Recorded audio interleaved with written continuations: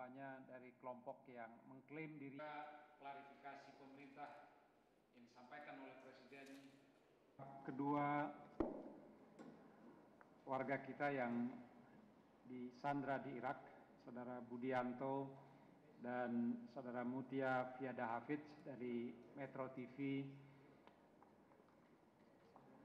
menurut berita yang masih harus dikonfirmasi lebih lanjut telah dibebaskan. Pada sekitar dua belas tiga puluh kami menerima informasi dari kantor perwakilan epi yang menurut sumber mereka di baghdad sudah diberitakan bahwa kedua warga kita telah dibebaskan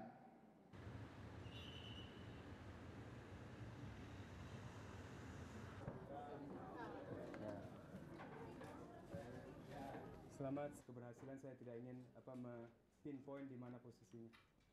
Yeah. The Department of Foreign Affairs can confirm that indeed the two have been released and the contacts have been established between the Department of Foreign Affairs and the two individuals.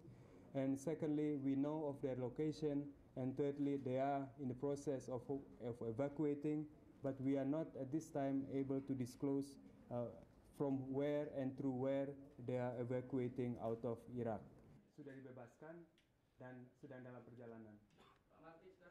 Obviously, this is a time where we rejoice. Obviously, this is a time where we are, we must be thankful that the concerted effort, not only on the part of the Indonesian government, but above all on the part of the media, uh, on the part of the various public personalities that have expressed uh, views and wishes for their early release, has come to uh, thankfully a positive outcome.